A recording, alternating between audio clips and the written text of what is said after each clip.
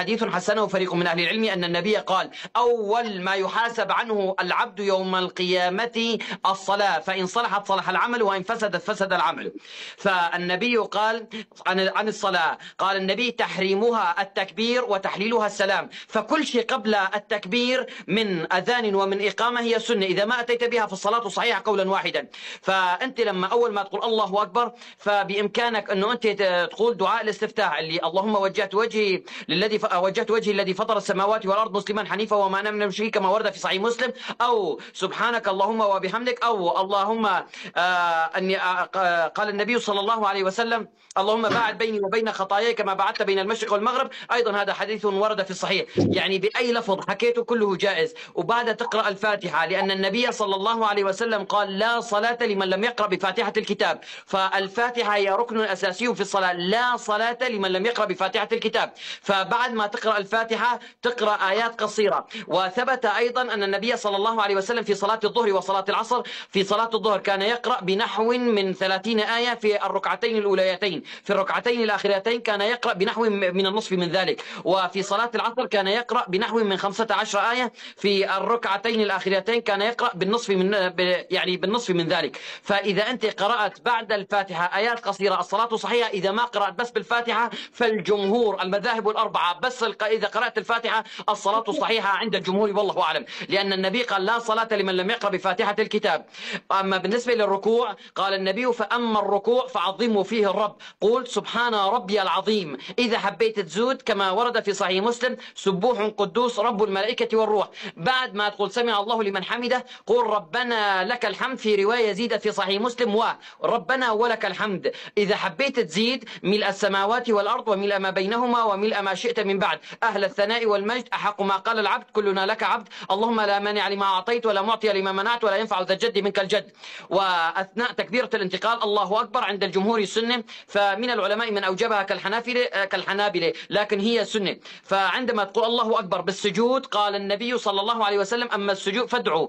أقرب ما يكون العبد من ربه وهو ساجد فادعوا فقمن أن يستجاب لكم. فأثناء السجود قل سبحان ربي الأعلى. إذا حبيت تزيد كما ورد في صحيح مسلم النبي كان يقول في سجوده سبوح قدوس رب الملائكة والروح كلا الأمرين جائز. إذا قلت فقط اكتفيت بسبحان ربي الأعلى أيضا يجوز. في الجلوس بين السجدتين الجلوس بين السجدتين تقول ربي اغفر لي. عند الحنابلة يقولون أنها واجب لما أتى بهذا الدعاء يسجد سجدتين للسهو. لكن الجمهور لا. عند الأحناف وغيرهم أنه الدعاء الذي يكون بين السجدتين هي سنة على الاستحباب. إذا أتيت بها لك الأجر إذا ما أتيت لا شيء عليك. اللهم اغفر لي اللهم اغفر لي. وردت عن النبي رواية اللهم اغفر لي اللهم اغفر لي. لكن من العلماء من نظر إلى هذه قال اللهم اغفر لي اللهم اغفر لي. هي أدنى شيء أم بإمكانك تزيد؟ فكلا الأمرين جائز هي من باب السنة. إذا أتيت بها لك الأجر إذا ما أتيت لك لا شيء عليك. أما بالنسبة لرفع اليدين في الصلاة رفع اليدين في يكون في ثلاثة مواضع في الرابعة فيها خلاف بين أهل العلم. أولا عند تكبيرة الإحرام واحدة عند الهوية للركوع اثنين عند القيام من الركوع هي صاروا ثلاثة. في الرواية اللي فيها خلاف بين أهل العلم هي عند الانتهاء من التشهد الأوسط. فلما تقوم من التشهد الأوسط ترفع إيديك. فمن الصحابة من أثبتها ومن الصحابة لم يثبتها. فمن العلماء من قال أنه ثبت عن النبي صلى الله عليه وسلم أحيانا كان يفعلها وأحيانا ما كان يفعلها. وضحت عد صار أربعة. لكن بالنسبة لوضع اليمين على اليسار فقال وائل بن حجر رأيت النبي صلى الله عليه وسلم واضعا يده اليمنى على اليسرى. في رواية زيدت عند نحره في رواية عند صدره. كلا الروايتين شاذة. الصحيح أنه قال رأيت النبي واضعا يده اليمنى على اليسرى. في رواية وردت عن سهل بن سعد الساعدي أنه قال أمرنا بوضع أيماننا على شمائلنا. فاليد اليمنى على اليسرى هي السنة عن النبي صلى الله عليه وسلم. لكن المالكية أيضا قالوا بإسبال اليدين. بإمكانك أن تسبل اليدين والصلاة قولا واحدا صحيحا لكن المثبت مقدم على المنفي والله أعلم. لأن المالكية استدلوا أن وائل بن حجر قال رأيت النبي أي طيب وائل بن حجر كان وافدا إلى المدينة. ما كان من أهل المدينة. رأى النبي مرة ولا مرتين فلا يعلم. وسهل بن سعد السعيدي كان صغيرا. قال أمرنا بوضع أيماننا على شم من الذي أمره؟ هل النبي ولا أبو بكر ولا عمر ولا أيضا لا يعلم. فاستدل الأئمة المالكيين بالجواز يعني أنه إسبال اليدين. واللي صلى مسبل اليدين الصلاة صحيحة. لكن المثبت مقدم على المنفي. فإذا حطيت إيدك اليمنى على اليسرى هذا أولى. والله أعلم. هيك سنة النبي صلى الله عليه وسلم. أما النظر إلى في الصلاة فللعلماء فيها قولين.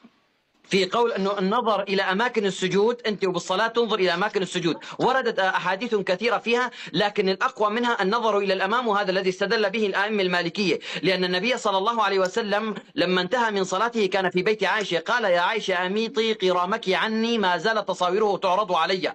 والنبي في صحيح في الصحيح البخاري لما صلى صلاة الكسوف وانتهى من صلاته قال عرضت لي الجنة والنار في عرض الحائط. ما قال في مكان السجود. على كل حال كلا الأمرين جائز والله أعلم. أما بالنسبة للتشهد تقول التحيات لله والصلوات والطيبات. هاي رواية عبد الله بن مسعود. أخذ بها الأحناف وأخذ بها الحنابلة. في رواية زيدت أخذ بها الأحناف آه هاي الأحناف والحنابلة. هي رواية عبد الله بن مسعود. علمني رسول الله وهذا في صحيح البخاري. علمني رسول الله وكفي في كفه التحيات لله الصلوات والطيبات. السلام عليك أيها النبي ورحمة الله إلى آخره. إلى أن يقول أشهد أن لا إله إلا الله وأشهد أن محمدا عبده ورسوله.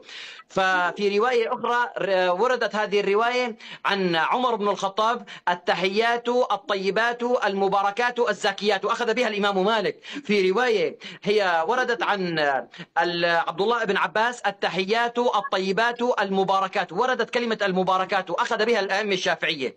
لكن الأصح هي وكلهم جائز. يعني كل كليات جائز. إذا أخذ بقول الإمام مالك جائز لأنها وردت رواية عن عمر آه، قول عن الشافعية وردت عن عمر بن الخط... آه، عن عبد الله بن عباس جائز وعن عبد الله بن مسعود كما وردت في صحيح البخاري أخذ بها الحنابلة وأيضا الأحناف التحيات لله والصلوات والطيبات والسلام عليك أيها النبي كله جائز كلهم جائز. والصلوات الإبراهيمية تكون في التشهد الأخير في التشهد الأوسط تكون فقط أشهد أن لا إله إلا الله وأشهد أن محمدا عبده ورسوله. هيك علم عبد الله بن مسعود علم كان يعلم أحد التابعين فقال إذا بلغت أشهد أن لا إله إلا الله وأشهد أن محمدا عبده ورسوله. قم. ووردت أيضا رواية أن أبو بكر وعمر إذا جلسا على التشهد الأوسط كأنما يجلسان على الرطف يعني الحجارة المحماة من العجل. فخلص إذا قلت أشهد أن لا إله إلا الله وأشهد أن محمدا عبده ورسوله أشهد أن أشهد أن لا إله إلا الله وأشهد أن محمدا عبده ورسوله. قم. وردت رواية رواية 15 رواية. وردت أن النبي صلى الله عليه وسلم كان يقول أشهد أن لا إله إلا الله وأشهد أن محمد عبده ورسوله كان يرفع السبابة. في رواية التحريك. وفي رواية هكذا. هذه الرواية التحريك وردت عن وردت عن زائد بن قدامة. هي رواية شاذة. هي رواية ضعيفة. الأغلب أن الجمهور على أنه رفع السبابة عند قول أشهد أن لا إله إلا الله وأشهد أن محمدا عبده ورسوله. في التشهد الأخير تقول الصلوات الإبراهيمية اللهم صل على محمد وعلى آل محمد كما صليت على إبراهيم وعلى آل إبراهيم. في رواية اللهم صل على محمد وعلى آل محمد كما صليت على آل إبراهيم بدون كلمة إبراهيم. فهاي بالجملة الصلوات. لكن بالجملة في نهاية الصلاة السلام عليكم ورحمة الله في رواية زيدت وبركاته. لكن هي ضعيفة. الأصح السلام علي آه السلام عليكم ورحمة الله بدون كلمة وبركاته. لأن ابن عمر قال السلام ينتهي عند بركاته في الأيام العادية. أما في الصلاة عند ورحمة الله. هذا عند الجمهور. هاي ملخص الصلاة. أطلنا عليك سادة الفاضل. تكلم حفظك الله. بارك الله بك